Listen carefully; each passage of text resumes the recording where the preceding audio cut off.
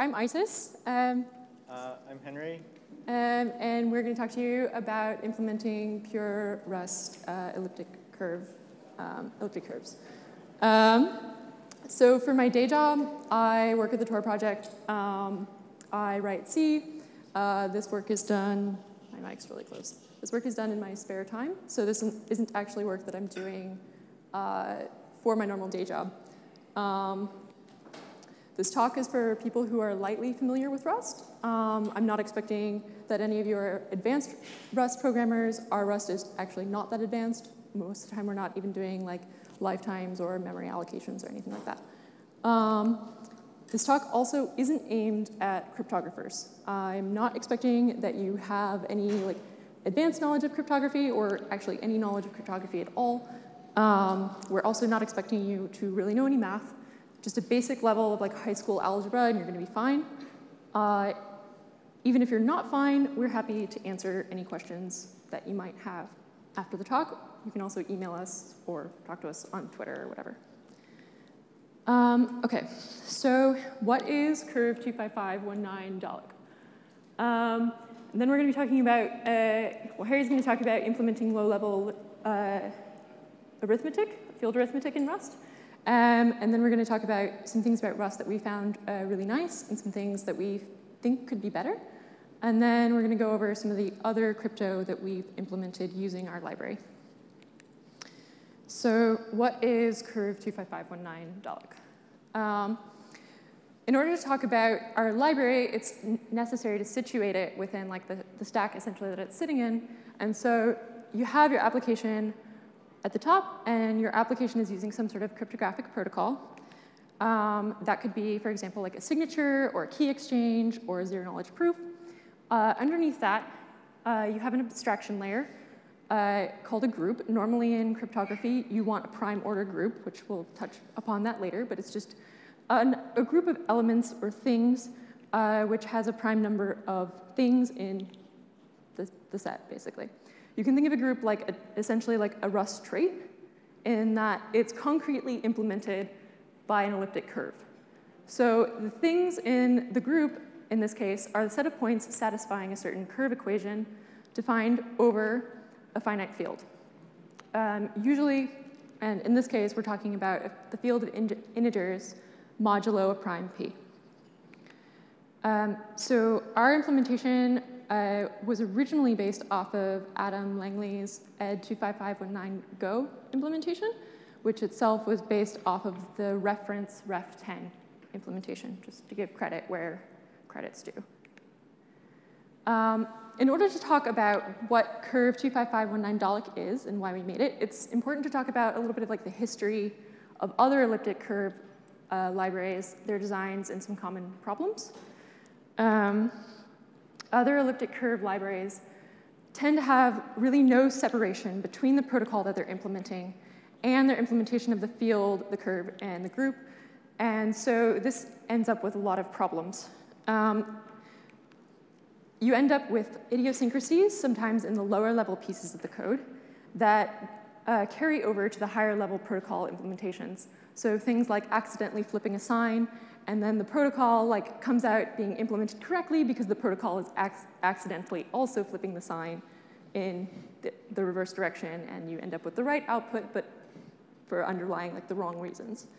Um, there's also problems with like assumptions about how these lower level pieces are, are supposed to behave, um, and those aren't necessarily correct. If you try to use uh, the field or the, the group implementations to implement a different protocol. Um, this also results in like super excessive copy pasta. So cryptographers have this thing where they, they tend to like literally copy paste each other's code around. Um, they also, like this is exacerbated by um, a lot of cryptographers somehow think it's appropriate to have like a tarball of their code unsigned inside another tarball of a benchmarking library. And that's like how you're actually supposed to get it as an end user it's just, it's like, this is mind-boggling to me. Um, so anyway, this leads to large monolithic code bases, which are idiosyncratic. They're incompatible with one another in like really hard to debug ways, and they're often highly specialized to perform only the single protocol that they're implementing, which is often um, signatures or key exchange. And there's just no um, consideration that there's this whole, you know, there's the whole rest of the field of cryptography, and you might want to do something other than these two protocols. And there's worse. uh, some of the bugs I've personally seen in major widely used cryptographic libraries, which I'm not going to name any names, uh, but like using C pointer arithmetic to index an array.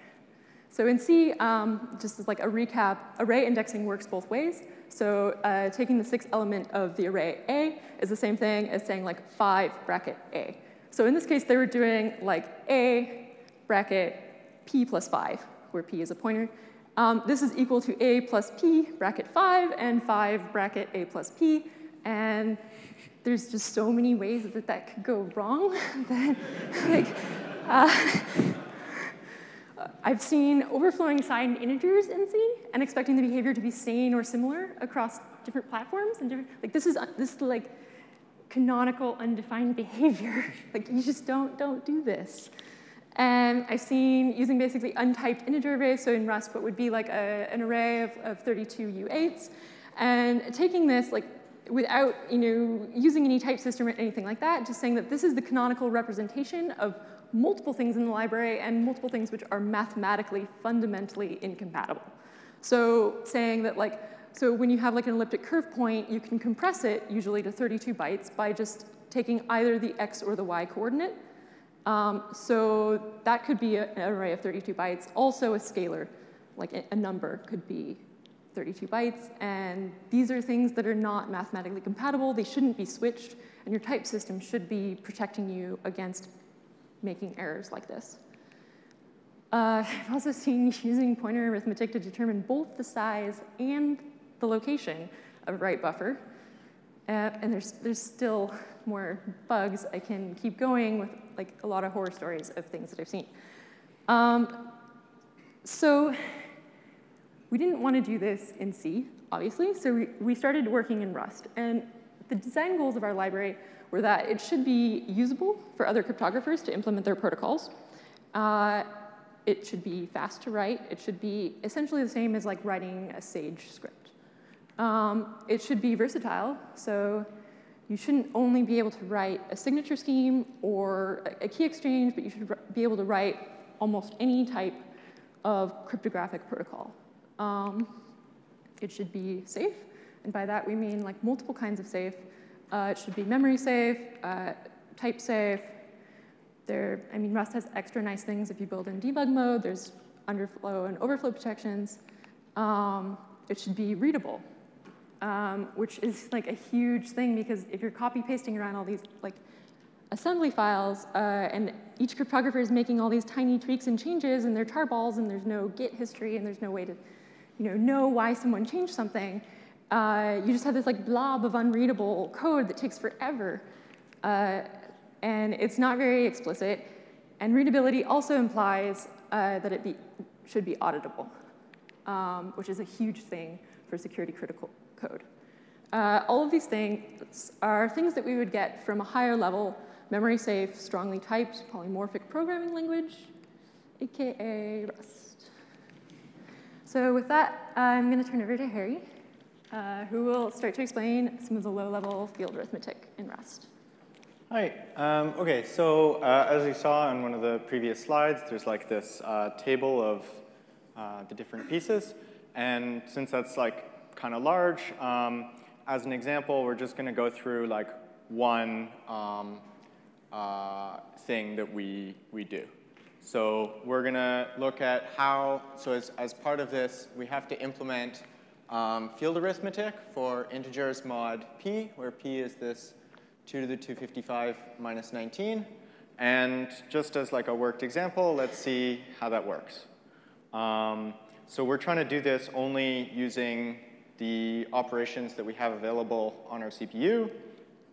So in order to figure out how we're going to do this, you need to answer two questions. First, what are our actual primitive operations, and also um, what does the multiplication look like. Um, so when you do a multiplication, um, you're using a, a, fixed size primitive type. But when you multiply numbers or integers, they will get bigger. Um, so how does that get handled? Basically, there's four possibilities. Um, one possibility that you can do is you can do error on if there's an overflow. So in this case, if you did, I'm using U8 just so it's small numbers, 8 times 40 will give you a panic. And that's what Rust does in a debug build. There's also wrapping arithmetic, where you would reduce mod, uh, you know, how big you can fit into that type. That's what Rust does in release mode. There's also, for some things, you might want saturating arithmetic, where if you get too big, it just clamps to the highest thing. And then the fourth thing that you could do is widening arithmetic, where the result of the multiplication is going to be the next biggest type. Um, and so in Rust, you have intrinsics for 1, 2, and 3. So if you explicitly want one of those, you can pick it. Um, I'm not aware of an intrinsic for the fourth one, but you can just write it like this. Um, and so now you might want to know, like, OK, what does this actually turn into? So let's suppose that we're on x86-64. Um, there's a really cool tool um, that you can see, uh, Compiler Explorer. So in the top window, um, I've just put a, uh, an example of a thing that does a widening multiplication of two U64s to produce a U128 output. And then in the bottom, it's produced what the actual assembly that this uh, will do. And there's two windows because um, you can see that LLVM will give you a nicer instruction on newer processors. So on the older processors, um, there's this mul instruction where the inputs and outputs go into like fixed predetermined registers. So you'd have to do a bunch of like moving things around.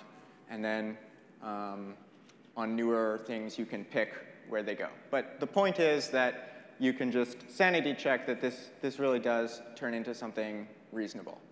Um, so suppose that we have this ability to do multiplication of two 64-bit numbers into a 128-bit product. Um, how are we going to implement multiplication? So if you look at the original paper, they suggest using a radix 2 to the 51 representation. So what does that mean? It means that you're going to write numbers um, where the, in, in, base 2 to the 51. So you're going to get uh, five coefficients. You might wonder, where does the 51 come from? Where does the 5 come from? So these things are going to be basically 256 bits wide. And so you could break it up into 4 times 64.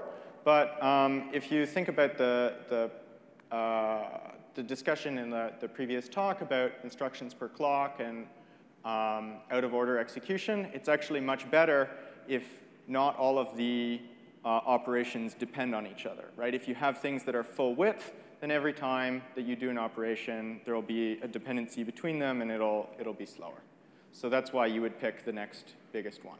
Um, and so we could write this in Rust as a tuple struct and um, you can use this multiplication to do it. So how would we actually do that?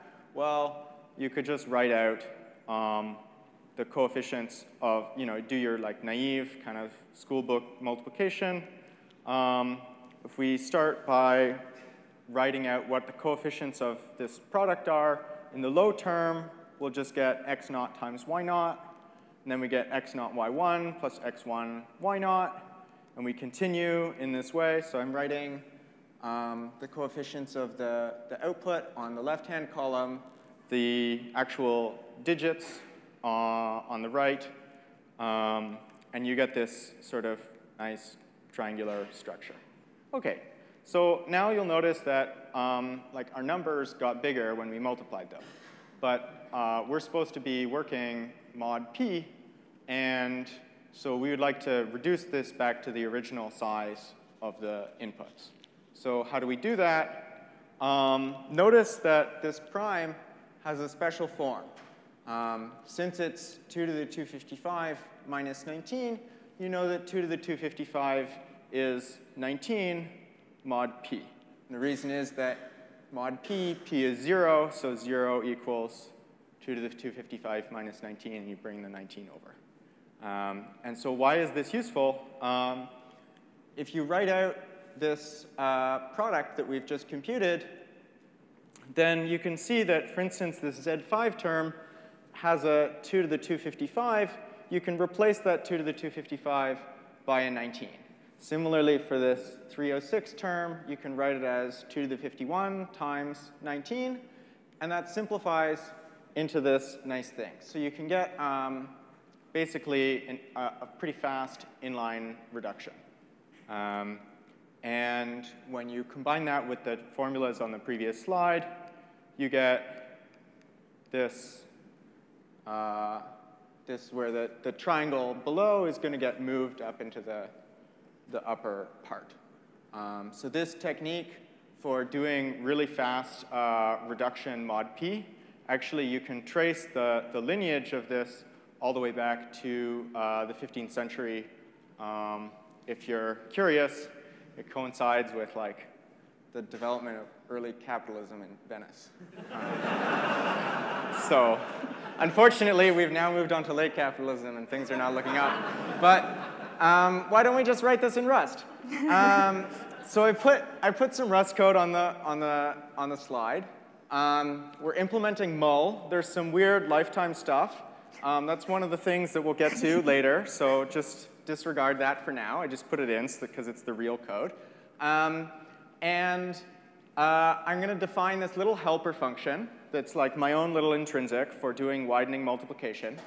Um, it's inline always, so it will just disappear. And uh, we start off, so remember in the, um, in the previous slide, we had a 19 times some stuff, but that stuff is going to be U128s. And it's better, you know, instead of trying to do 128-bit multiplication, you could just do a multiplication by 19 beforehand. Um, and then you just write down that formula. Um, now we have this problem, which is that these CIs that we're getting are 128 bits wide, right? They're U128s and not U64s. And remember that our original goal is to try to get to uh, back to a like U64 5. So we have to then sort of reduce these these CIs, and we can do that. Um, so I've written this formula, um, but basically the idea is that you take this 128-bit value, you take the low 51 bits, you keep them, you take the high part, and you add it to the next biggest coefficient. So you're just carrying the value up into the next biggest thing. And you can write that in Rust in the following way. Um, you can construct a mask and uh, do this carrying. Um, you can also, because a, a, nice thing with Rust is that uh, you can rebind the same names. Um, and so here, these C, there's, there's a rebinding happening where uh, we're notifying the compiler that um, now that we've done this reduction, all of these CIs are now going to fit into 64 bits. So you know, do whatever you want with that information. And once we've done this first pass, we've now fixed uh, all of the um, the CIs to lie in the, into U64s, but now they're not maybe as, as small as we'd like, so we can just do another carry pass. And that's what that uh, field element 64 reduce function does.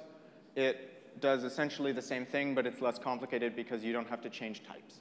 Um, and it also will get inlined. Um, so actually, that's our implementation. Um, it's not you know the simplest thing, but it's not that complicated. Um, in our actual code, there's a bunch of debug assertions to make sure that all the things that are right size, that there's no possibility that we're like violating some preconditions, that none of the intermediate things can overflow, whatever. Um, but that's the actual code that we have. Um, and we kind of just like throw LLVM at it and see what happens. So you might be wondering, like, how does that compare? Like I heard you had to do a lot of work to get things to be fast? Well, um, turns out it's actually really, really, really fast. Um, so Ed25519 Donna is an implementation, uh, it's like uh, optimized assembly. It's what Tor currently uses by default. Um, And as you can see here in the red, uh, our performance is comparable to Donna, slightly better for things like verification. And then also just throw in like a general, like, so that you understand like what the numbers are kind of supposed to be. Uh, Ring is also a Rust library for, it's a higher level library than ours. Uh, so implementing protocols, and Ring does that by um, wrapping BoringSSL's uh, implementations, which are assembly implementations, and wrapping that in Rust. Um, so it's pretty, pretty fast. Um, so now to talk about some things about Rust that we really like and other things that we think could be a little bit better. Um, so as obviously, uh, Rust code generation is done by LLVM. As I just showed, it's really good at generating code. It's not just good at generating fast code, it's good at generating safe code. Um, so historically, there's a worry that an optimizer could, in theory, break constant time properties of an implementation. Um, so what does this mean? Uh, people have essentially in the past said that uh, you can't use um, compilers to write cryptography. You have to write handwritten assembly because that's the only way to control what a chipset is going to do. Um, not only is that not entirely true, there are chipsets that do weird things, which I'll get into later. Um, that's just, this is just all kinds of insane. Um, so uh, what does it mean to say that, like, that code is constant time? So there are these things called side channels, and a side channel is essentially a mechanism by which an adversary can learn some sort of like internal program state. Uh, for cryptography, this is especially insidious because um, learning a few bits of a secret uh, can often lead to full key recovery attacks. Um, so, uh, like a, a, concrete example of a side channel attack is like I have a like I make a static string and I just like hold the A key for like five minutes, make this really huge string, and I load it into your CPU's cache, and some of the caches are shared with uh, other programs that are running. So the other program that you want to do a, a side channel analysis of, um, let's say it has like an if-then statement where it's branching on like a bit of your key, whether that bit is like a zero or a one. Um, so if the if statement is a really small piece of code, and then the then statement is this like huge chunk of code, um, you can basically load your giant static string into the cache, and you wait a little while and just like chill, and then you try to access your giant string again, and you time how long it takes. And as you saw in the previous talk, hitting different layers of the cache and hitting memory instead results in different timings. So that's a timing side channel. There are other side channels you can do, like you can do differential power analysis where you build up profiles of like a different uh, device or a different chip and like how much power it draws as it's doing certain operations. Um, but basically, this is all bad. You want to write code that does exactly the same thing with respect to secrets all the time. Um, so to prevent this, uh, we have put a lot of effort into, as you saw, like propagating the carries in, in Harry's code. There's all these like crazy bit shifting opera operators everywhere, and crypto code just tends to look weirder because of this. Um, for LLVM's optimizer, it turns out that uh, it's not breaking our code as far as we can tell for x86, and we've like sat there and geeked out on the assembly for hours and hours and hours and way longer than I would like to. Um, in the future, we're hoping that there would be some way that we could do like a, an LLVM pass or like sanitizer where we can statically analyze the output assembly. Like there's a, a trick uh, for Valgrind that Adam Langley made, where you just mark secret data and then it gets uninitialized. And then if you ever try to like index over the data or branch on it, the whole thing just poops its pants and you know that you've done something wrong.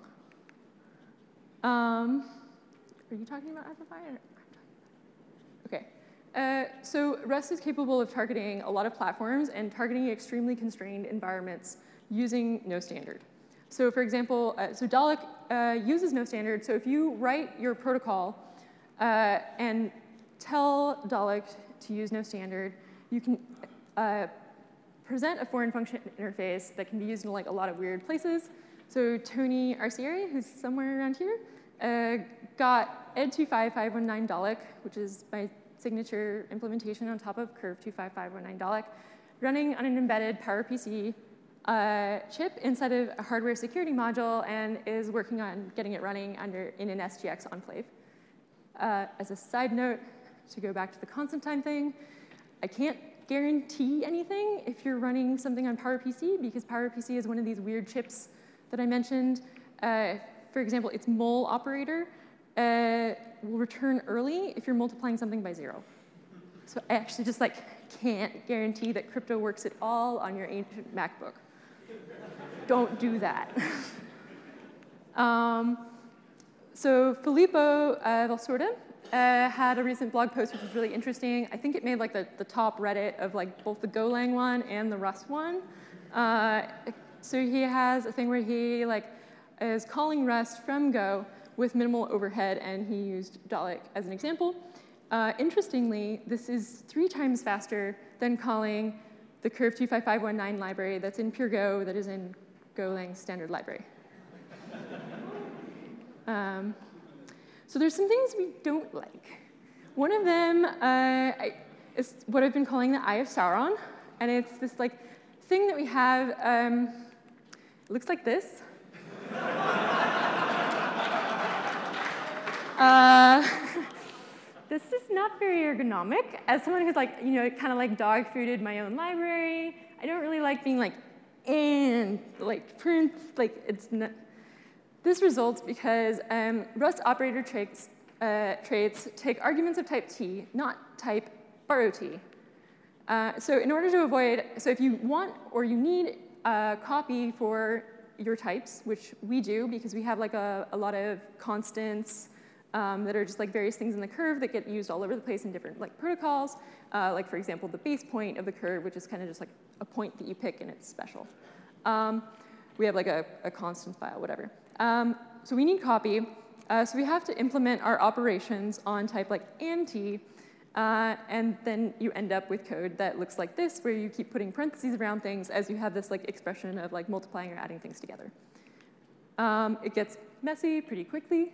Uh, I'm not a compiler dev, but it might be possible to perhaps do like auto borrow for copy types or some other special marker where we can say like, hey, I like I said the type, but I really meant like borrow the type, don't actually copy it. Uh, another thing which would be really cool and which we know is coming and we're really excited about is const generics. Um, so we've already thought of really cool ways to abuse, use const generics uh, to optimize the field arithmetic. Um, so the basic idea would be to statically track the sizes of the intermediate values of these like field elements uh, and use specialization to insert reductions when necessary. Um, so it would automatically detect like, oh, hey, you have like three bits of carry space and you've done like two adds already. Let's like do a reduction now instead of like forcing users to know when to do it by hand.